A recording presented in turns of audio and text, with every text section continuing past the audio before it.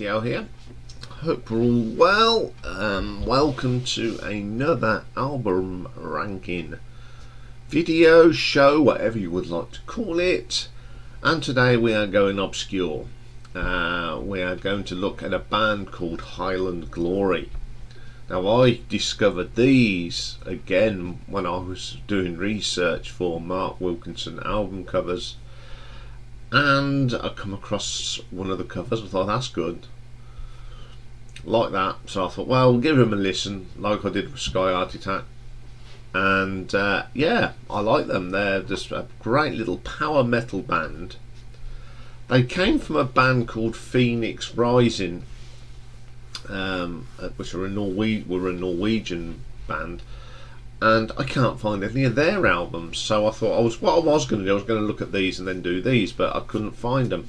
But the albums were Rise to the Ashes and Eternal Crusade. So the band changed their name and singer, and they became Highland Glory.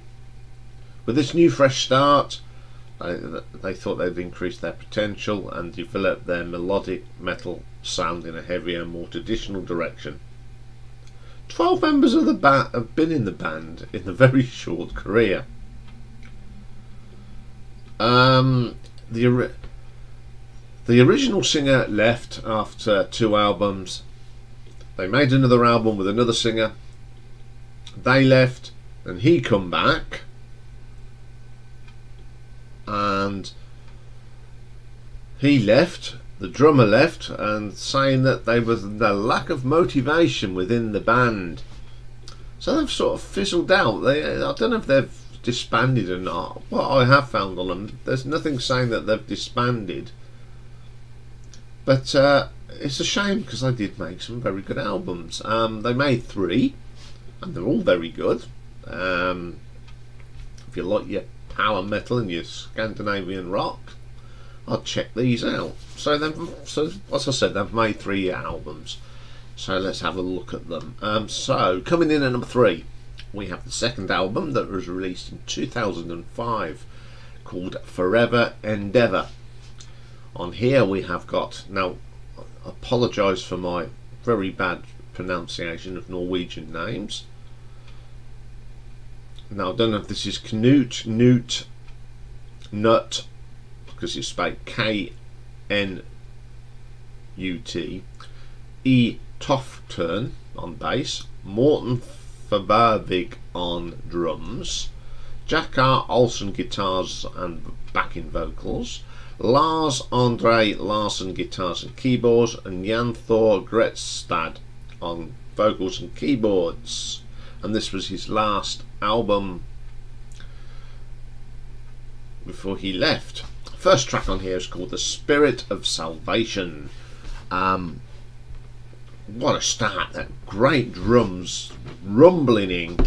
Um, we got some very nice melodic guitar on this. The, the double guitars always sound great. Very melodic track, and it's a great vocal. Uh, really strong vocal, and it's a good track. Second track is called Break the Silence.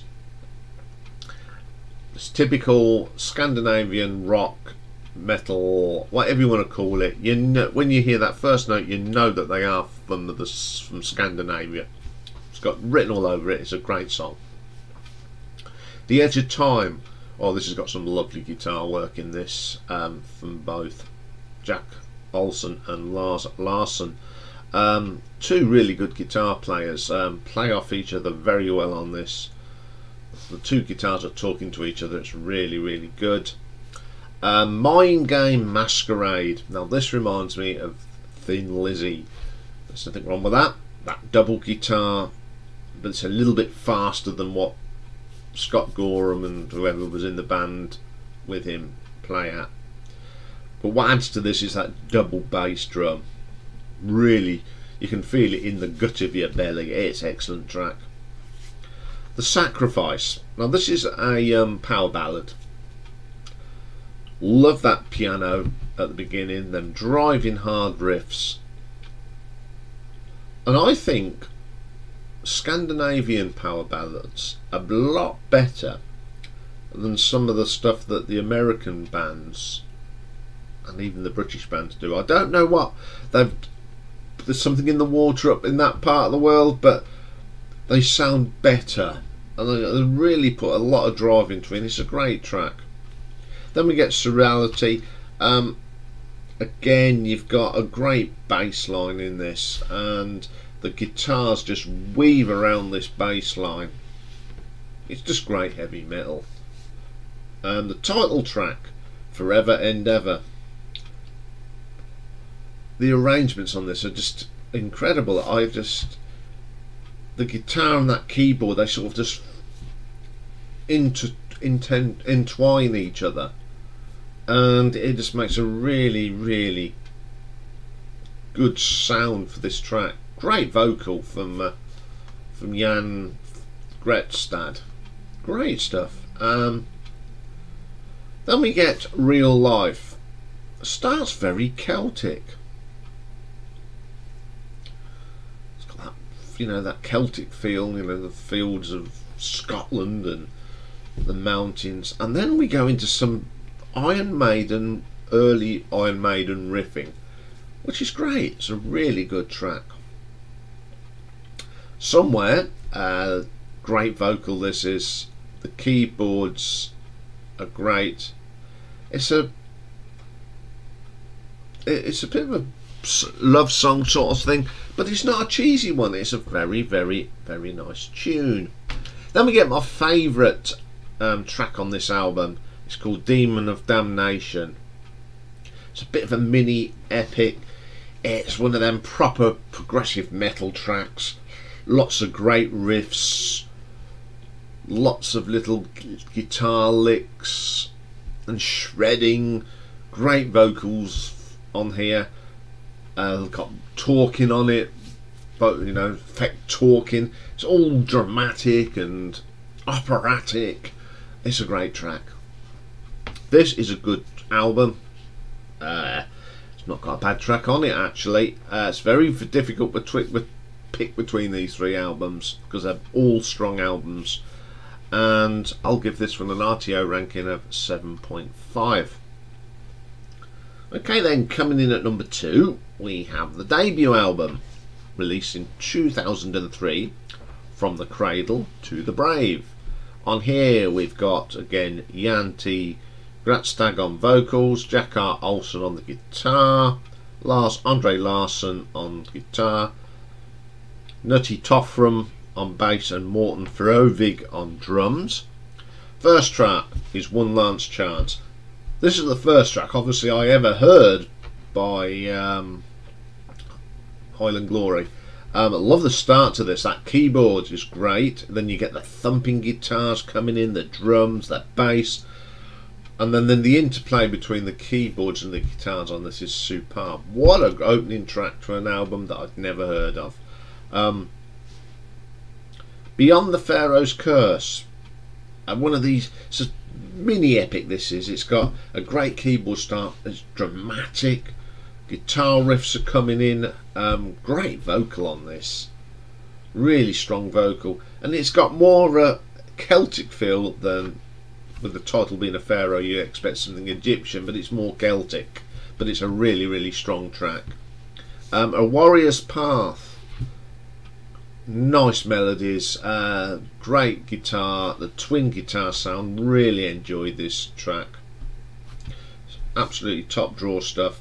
Um, the Promise, I swear, great track. Now, you never get piano and bass working well together on this, and it is really nice. Uh, it's a slow, romantic song, but it's it's more class than less cheese. The, the words are nice. They're not slushy, but they're meaningful. It's a really good song. Let me get my favourite track on this album. It's one of these um, epics. It's called The Land of Forgotten Dreams. It's split into two. Uh, but the first part is got some a thumping bass line and great double drums, some really nice interplay between the guitars. And then in the second bit we go into this tempo that sort of builds up even more from the first part. The first part's reasonably fast, but then all of a sudden we go into something even faster. And you've got this orchestral keyboard, and the guitars are just flowing over this. Great interplay. It's a fantastic piece of music. Then we get Where You're Going to Neverland. This reminds me of um, Dream Theater, and there's nothing wrong with that. Uh, it's again, it's one of these little mini epics. It's about eight minutes. It's got all them elements that you expect with progressive metal. Uh, you know, it's very Dream Theater, as I said. Uh, it's a great track. Um, then we get We Will Be Again, another slow track. Nice lyrics. It's a love story, not I love you and I'm going to be with you for the rest of the life, blah, blah, blah. It's a bit meaningful and I like it. Really nice structure. The guitar work is fantastic on that track. Then we get the title track from Cradle to the Brave. It's a lovely Celtic start with flutes. You could be again in the hills of Scotland or Ireland and the green fields, and then all of a sudden you get this turns on its head from a gentle Celtic thing to a really hard rock metal track. Heavy riffs, lots of shredding and drums, and oh, it just blows your head off. Um, that was the last track on that one, and uh, again, I, you know, the first album I heard, and it blew me away. Um, really, really good album. Um, must You've gotta check these albums out. They are fantastic. So I'm going to give this an RTO ranking of 7.7. So coming in at number one, we have the third, and at the moment, the current. Who knows if we'll get another one? Came out in 2011, and it's called The Twist of Faith. Um, new singer on this. Um, but you've still got Nutty E. Toffram, Morton Færvig, um, Jack Olsen, Lars Anderson, and the vocals are now done by a female vocalist called Trini Elise Johansen. And it was the only uh, album because she made this album and left. and then I went back to Jan again, and then of course he left because he was getting bored. Um, so First track on here is called Holocaust Ride. Great driving riffs. And this um, young lady, Trini, sounded brilliant. Great vocal. Then we have Limitation of Life, in brackets, Dark Side of the Mind. Ripping track. Really good guitar licks in this. And another fine um, vocal Temptation Highland. Nice and slow. The guitar sounds really good on this. Very, very good track. Without You, another slow ballad sort of thing. Uh, Trini's voice is great. It really suits her vocals, suit the style of this band. It's a shame she's only made this one album. Very, very good track. Lots of power chords just what you like. Um, Twist of Faith is the next track, uh, Garden of Heathen.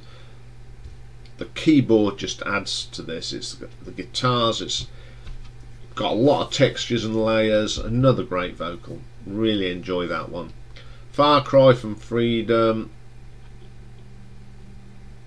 It starts off with this acoustic sound, then the electric guitars coming on top of it. Um, it's a stonking rock track and it just gets better and better as the track progresses. They add extra layers and it builds to this really good crescendo. Then Earthbound Spirit. This is my favourite track by the band, full stop. Um, it's got a bluesy rock feel to it. Um, and then you get the combination of the metal riffs. It's great. It, it, the keyboards on this are just amazing. And this is Trinine's best vocal that she did with the band. It is fantastic. Diary of the Dying. Belter. Absolute belter of a track. Um, again, it's got all them great elements of progressive metal, stunning keyboard pieces, great guitar riffs and shredding, and a good strong vocal. Blood of Innocent, again, it's got the modern day start for the Iron Maiden song with the bass line, but it's not as long as Steve Harris's bass intros. It's short, it's sharp, but it delivers, and uh, it's a very good track. And I love that track as much as Earthbound Spirit. Then we get a cover of a Heart song alone. Um, it's not a bad version, but she's no Ann Wilson. I don't think she's got the same power as Ann. That's not a bad way to end the album. Okay, big gamble this was. Replacing a metal band, replacing a male singer with a female singer. Very bold move, I thought. Um, but I think it paid off because this is a great album. As much as I like Jan's um, vocal, he's a great singer. I think that Trini was really added more depth to this band, and it, it, this album is great. Okay, the Heart cover is probably the weaker track, but if you're going to try and cover Heart songs, you, are either going to get it right or you're going to get it wrong. She got it half right, but I don't think she hasn't got the power of Ann Wilson. But it didn't spoil. It doesn't spoil that album. It's so, shame that she didn't stay and they made another album. Um, but it's a great album, and I listen. I have listened to it quite a lot. So I'm going to give this an RTO ranking of eight out of ten. Okay, um, another band to go and check out. Um, as I said, if you like your Scandinavian rock music, you're going to like these. Um, I'll be back later uh, with a retro ranking, and it's one another one of them specials. Um, continue on from Wings last week. There were so many songs that didn't appear on their albums but come out as singles and B sides. And I don't want to leave them out because they they are great songs. So we'll be looking at them later. So see you for that. Take care for now.